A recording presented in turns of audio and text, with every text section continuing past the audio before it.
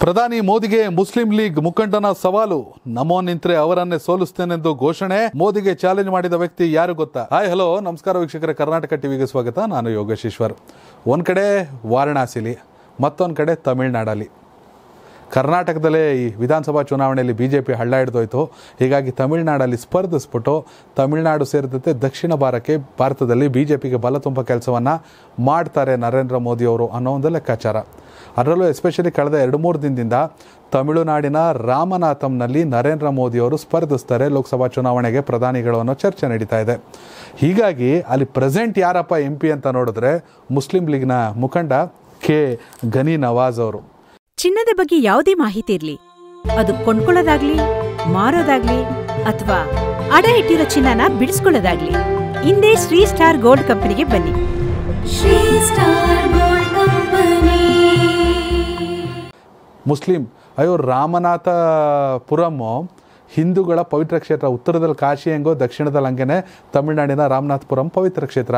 ಇಲ್ಲಿ ಮುಸ್ಲಿಂ ಲೀಗ್ನ ವ್ಯಕ್ತಿ, ಅಂದರೆ ಮುಸ್ಲಿಂ ಲೀಗ್ನ ಮುಖಂಡ ನವಾಜ್ ಕೆ ಖನಿ, ಇವರು ಎಂ ಎಲ್, ಎಂ ಪಿ ಆಗಿದ್ದಾರೆ. ಹೀಗಾಗಿ ಅವರನ್ನೇ ಒಂದಷ್ಟು ಪ್ರಶ್ನೆಗಳನ್ನ ಮಾಡಲಾಗಿದೆ.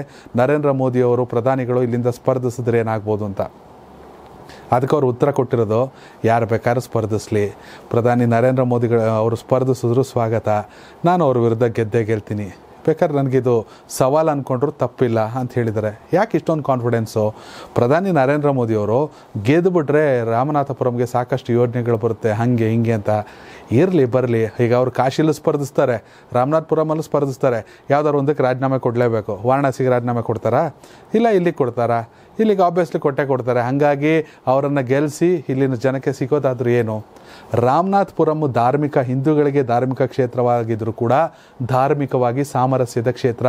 ನನಗಿಂತ ಮುಂಚೆ ಕೂಡ ಮುಸಲ್ಮಾನರು ಇಲ್ಲಿ ಸಂಸದರಾಗಿದ್ದಾರೆ. ಹಿಂದೂಗಳಲ್ಲಿ ಸಂಸದರಾಗಿದ್ದಾರೆ. ನಾನೀಗ ಪ್ರೆಸೆಂಟ್ ಸಂಸದನಾಗಿದ್ದೀನಿ. ನಾನು ಕೂಡ ಡಿ ಎಂ ಕೆ ಮೈತ್ರಿಕೂಟದಲ್ಲಿ ಸಪೋರ್ಟನ್ನು ತಗೊಂಡು ನಾನು ಮತ್ತೆ ಲೋಕಸಭಾ ಚುನಾವಣೆಗೆ ಮುಸ್ಲಿಂ ಲೀಗ್ನಿಂದಲೇ ಸ್ಪರ್ಧಿಸ್ತೀನಿ.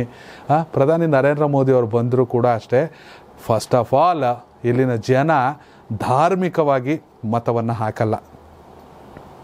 ಧರ್ಮ, ಧರ್ಮವನ್ನು ನೋಡಿಕೊಂಡು ಹಾಕೋಂಗಿದ್ರೆ ನನ್ನ ಯಾಕೆ ಗೆಲ್ಲಿಸ್ಬೇಕಿತ್ತು ಈ ಹಿಂದೆ ಇದ್ದಂಥ ಸಂಸದರನ್ನ ಯಾಕೆ ಗೆಲ್ಲಿಸ್ಬೇಕಿತ್ತು ಹೀಗಾಗಿ ಧರ್ಮವನ್ನು ನೋಡ್ಕೊಂಡು ಓಟ್ ಹಾಕೋಂಗಿದ್ರೆ ಜನ ನನ್ನ ಗೆಲ್ಲಿಸ್ಬೇಕಿತ್ತು ಯಾಕೆಂದರೆ ಇದಕ್ಕೆ ಮುಂಚೆ ಇಲ್ಲಿ ಜಿ ಕೆ ರಿತೇಶ್ ಸಂಸದರಾಗಿದ್ದರು ಇನ್ನು ಅದಕ್ಕೆ ಮುಂಚೆ ಮೊಹಮ್ಮದ್ ಶರೀಫ್ ಅವರು ರಾಮನಾಥ್ಪುರಮಲ್ಲಿ ಸಂಸದರಾಗಿದ್ದರು ಹೀಗಾಗಿ ಧರ್ಮದ ಆಧಾರಲ್ಲಿ ಇಲ್ಲಿ ಏನೂ ಮಾಡೋಕ್ಕಾಗಲ್ಲ.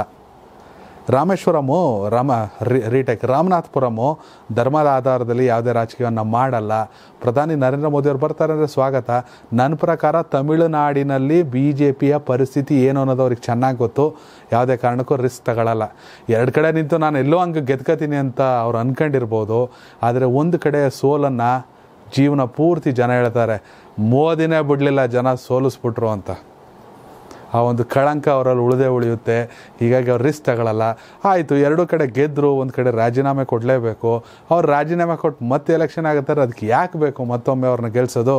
ಹೀಗಾಗಿ ಜನ ಖಂಡಿತವಾಗ್ಲೂ ಅವ್ರನ್ನ ಗೆಲ್ಸಲ್ಲ. ನನಗೆ ಕಾನ್ಫಿಡೆನ್ಸ್ ಇದೆ. ಬೇಕಾದ್ರೆ ಅವ್ರು ನಿಲ್ಲಿ. ನಾನೇ ಗೆದ್ದೆ ಗೆಲ್ತೀನಿ ಅಂತ ನವಾಜ್ ನವಾಜ್ ಘನಿ ಅವರು ಹೇಳಿದ್ದಾರೆ. ವೀಕ್ಷಕರೇ ಪ್ರಧಾನಿ ನರೇಂದ್ರ ಮೋದಿಯವರು ತಮಿಳುನಾಡಿನಿಂದ ಸ್ಪರ್ಧಿಸ್ಬೇಕಾ? ತಮಿಳುನಾಡಲ್ಲಿ ಸ್ಪರ್ಧಿಸೋ ಸೂಕ್ತನ ಅಥವಾ ಕರ್ನಾಟಕದಲ್ಲಿ ಸ್ಪರ್ಧಿಸ್ಬೇಕಾ? ಇದ್ರ ಬಗ್ಗೆ ನಿಮ್ಮ ಅಭಿಪ್ರಾಯನ ಕಾಮೆಂಟ್ ಮಾಡಿ. ಧನ್ಯವಾದಗಳು.